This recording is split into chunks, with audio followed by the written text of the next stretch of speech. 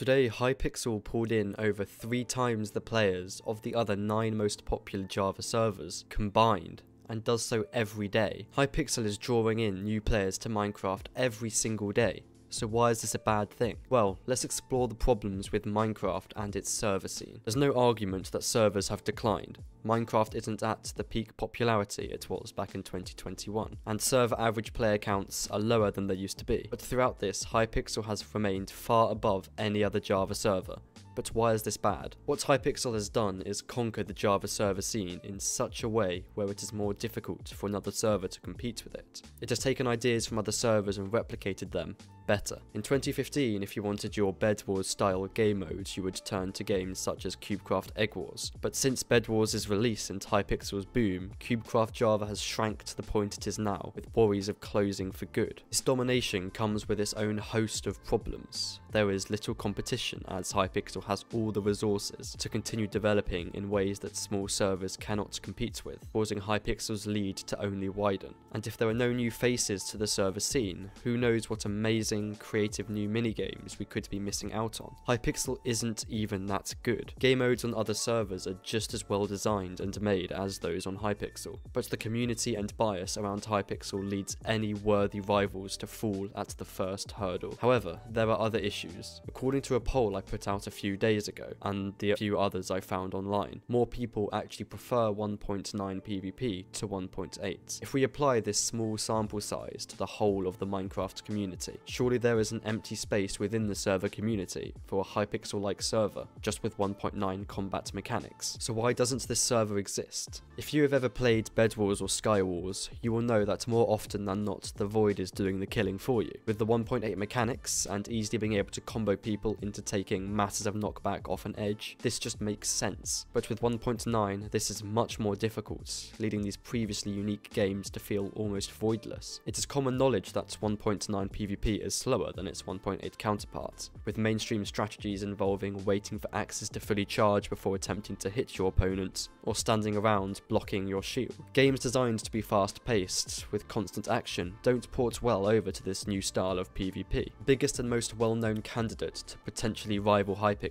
is a server known as MCC Island. The minigames, based on the 1.9 style of combat, are all a breath of fresh air from the Bed Wars and Sky Wars we are used to. It's even the public MCC server is currently stuck behind a paywall just to play on the server. I think it is safe to say as 1.9 PvP grows more and more, boosted by creators like Dream popularising this version even more, we will start to see more innovation from new servers, all fighting to monopolise on this community, currently out of Hypixel's reach. It's even 1.8 focused servers, competing with Hypixel, should be able to support themselves, and grow without having to grapple with our current reality. But that isn't about to change. Server coverage on YouTube outside of Hypixel is minimal, and what there is is often not well documented, at all. Instead of showing off a server's unique features, they compare ones similar to Hypixel's, reinforcing a bias that Hypixel does everything better. This narrative is not good.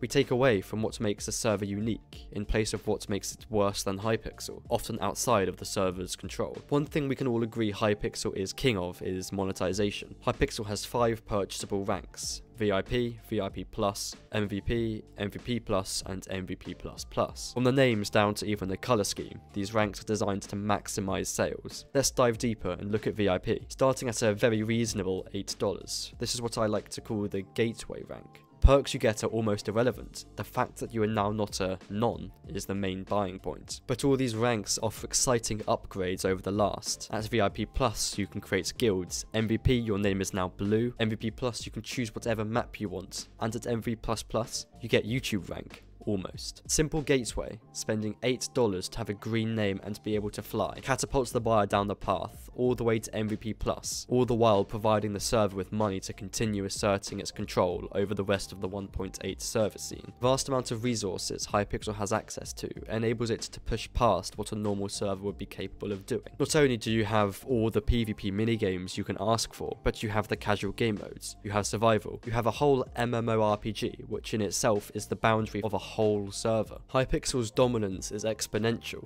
The more money it has, the more it can achieve, and the more money it has in general, the less money and players other servers have. This cycle is dangerous to Minecraft's multiplayer community, and needs to change, but that will not happen without innovation and a breakthrough not yet achieved. The Java server scene is looking dire, but there are glimmers of hope that new competitors will be able to break through the high ceiling imposed by Hypixel, and establish themselves as pioneers of a new era of Minecraft servers. But until that day, Minecraft has a server problem. If you enjoyed, why don't you check out my previous videos? I guarantee you will enjoy them too. I also might do a Bedrock version of this if you want, let me know. Bye.